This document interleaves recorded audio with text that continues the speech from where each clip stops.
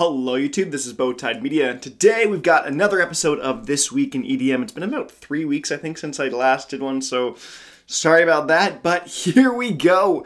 This is for songs of July 12th to 18th, 2021, and we're gonna go over songs that I found interesting or songs that came out this week in EDM. There is 22 of them, and it is also a list goes from the bottom to the top, with the last song in this video being my favorite of the week. So let's get into it.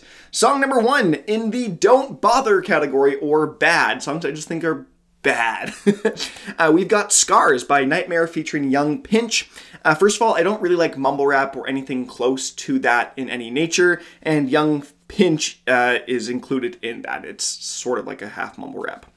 Uh, so it's already a massive turnoff for me, but those vocal chops uh, were the nail in the coffin that the song just sucked. Uh, when NGHTMRE tries to make uh, pop or commercial friendly tracks, I think it's easily his worst stuff. Uh, next up, we've got Noise Heaven by Dada Life. Uh, I used to be a big supporter and advocate that Dada Life was just a giant in the big room house scene, but uh, this track is really not good, and they haven't done a ton in the past, and so they're sort of just pew, going downhill.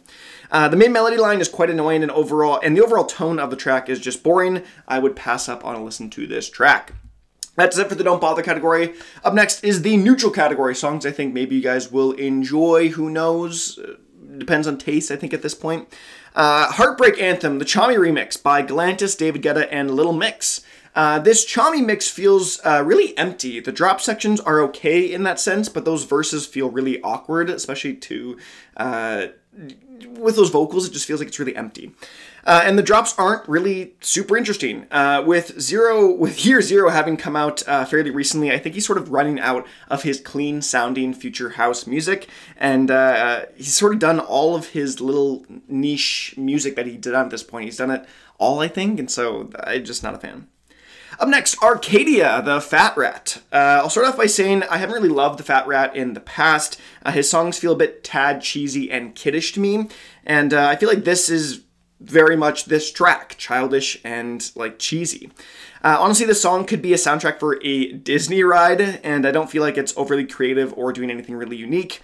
Um, I'm pretty much just not a Fat Rat fan, I think, though, so not not a fan for me, which is why it's just in the neutral category.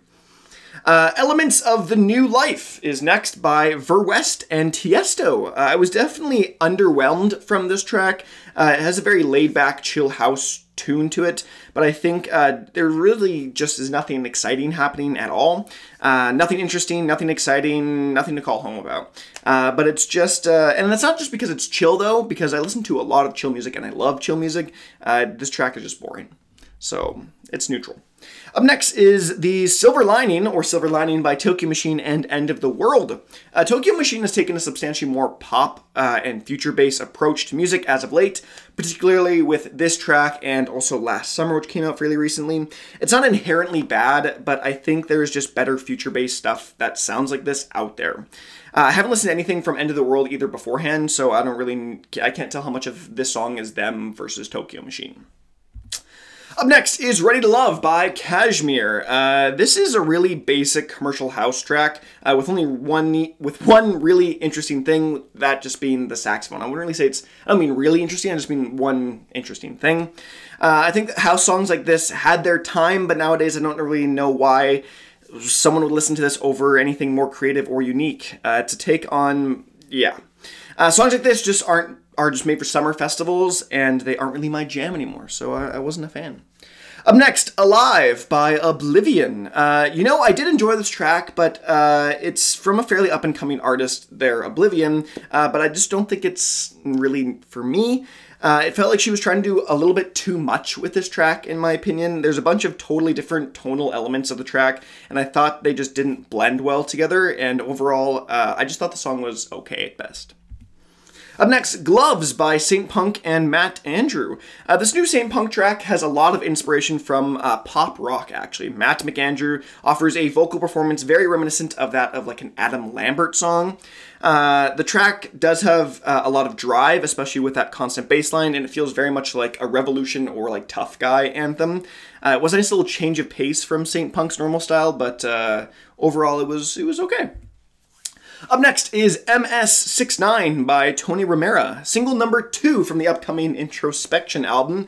I think it's definitely better than the first. It's got a little bit more of an electric sting to it and has some interesting funk elements.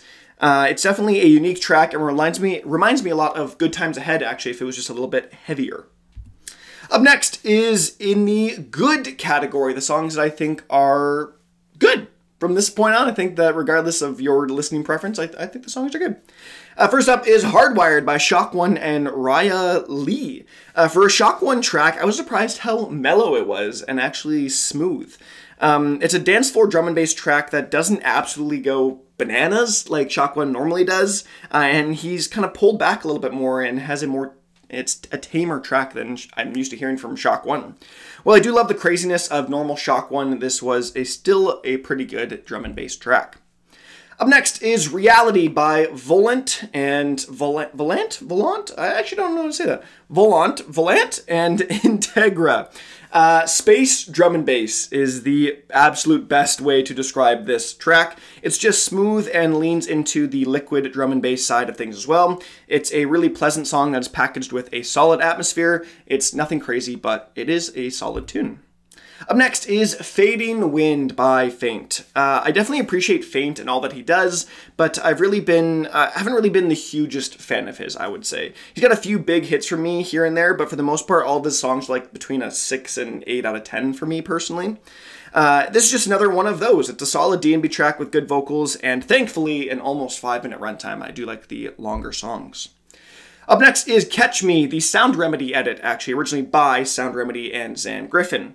Uh, Sound Remedy had a great edit of this track uh, from originally with him and Xan Griffin. Uh, it's got some more oomph to it, uh, to that melodic nature of the original, and has those uh, jagged synths that bring in more power onto the actual track. Uh, and I would say it's probably one of the best Sound Remedy tracks as of late, in my opinion. Up next is You and Me by CloudNone, the last single sort of to be released on the Last Train Home EP. You and Me feels like classic CloudNone at this point. It's a deep house track with a lot of garage elements littered throughout. Uh, and while it wasn't my favorite from the EP, it was definitely a solid cut. Up next is Be Okay by Ookay, Elohim, and Flux Pavilion, a star studded trio of producers here that uh, have just put out an above average track for me. Uh, it's lighthearted and fun, but really nothing more than that. It's a solid blending of all three styles of production here, which is why I don't think it actually doesn't go as crazy as it could have. Um, but I really did enjoy the track. I just think it could have maybe been a little bit better. Up next, we have The Paper Owl by AU5 featuring Arehlai. Uh, another AU5 classic. It seems uh, the lighter approach to his classic melodub style is great. Uh, and that's isn't to say that I don't like the stuff like Always a Nightmare or Only in a Dream, but I do like the more kind of change in pace from him here, not going as crashing and heavy a melodub as he normally does in the past. So I was a fan. Up next, I'm Yours by Vanic and Sylvie Cox. The first single off of Vanic's debut album is here, and with some force. Vanic has always had this unique kind of style of future bass that is both heavy and almost borderline mellow dub, and has been a niche that I've loved for quite some time. Uh, this track has a lot of strong movements in it, and Sylvie Cox's vocals are great. Uh, I've always thought that the kind of 1930s style vocal performances have worked really well with Vanic, and this song is really no exception. I'm excited to hear what the album's going to sound like at this point. Up next, uh, we've got In My Mind by Illenium, Excision, and Haliene. Fallen Embers, Illenium's fourth album, is out now, and uh, this is the non single I sort of picked for this week. Uh, and it was actually my favorite on the Fallen Embers album. I won't get into the album right now. I'm hopefully going to do a video on that in some time this week. But let's talk about the song. Uh, I've always enjoyed Haliene's vocals and Excision's productions, and when paired all together with Illenium, uh, I've said that very different twice, Illenium and Illenium, but who knows?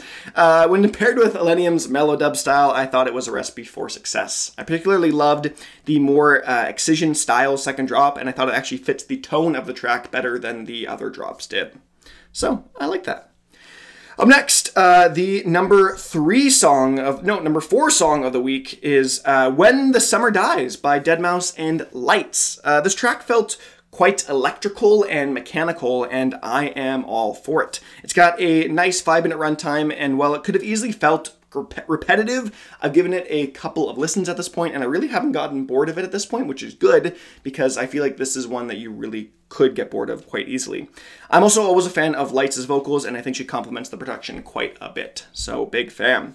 The number three track of the week, in my opinion, is Get Lost by Mija and Sharks. Uh, often does this really experimental music that I'm not always on board with, but when she's got someone like Sharks to balance her out, I enjoy it a lot more. This is a chill trap style track with solid vocals and a cool message behind it, and while this is uh, a lot of very basic sounds and movements of the song, I felt like it did feel unique to some extent. The runner up song for this week is It Gets Better by Swedish House Mafia. The trio is back with a triumphant return after nine years away. Uh, this new single, single feels like a breath of fresh air uh, within a genre that needs some revitalization. Please, I need some different, better house in my life. Uh, and so this is a powerful song with strong movements and a killer cowbell drop. And so I've liked it a lot. You can see my reaction hopefully up here. Uh, finally, the best song of the week uh, actually surprised me. It is Rattle Your Bones by Volt and Slushii. Uh, holy crap, this song is insane and I love all of it. From the creepy little girl vocals to Rattle Your Bones sample and the absolutely bonkers dubstep drop, uh, this was a roller coaster of hype that was right up my alley. Uh, this was an instant hit for me and we'll have to see if uh, this song really stands the test of time at this point. But that was it for this week in EDM. Let me know what you guys think in the comment section below, what you thought of these songs. If there's other artists that came out with stuff, let me know in the link below, or not the link, in the comment section below, and I will hopefully get their name a part of my list of stuff to look at for weeks prior, or not weeks prior, weeks in the future. Wow, my words right now. I'm just gonna end it here. I'm Bowtie Media, and I will see you guys in another video.